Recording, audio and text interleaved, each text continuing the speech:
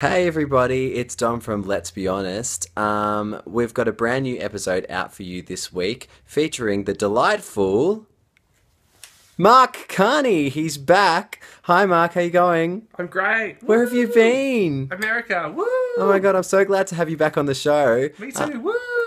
Woo! Anyway, the Tony Award nominations are out, and we're talking all about them and who maybe deserved a nom and didn't get one.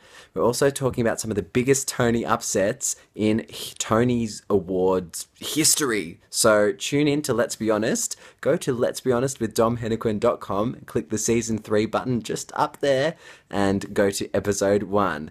Um, we'll see you very soon. Say bye to the camera, Mark. Bye. Bye. We'll see you soon.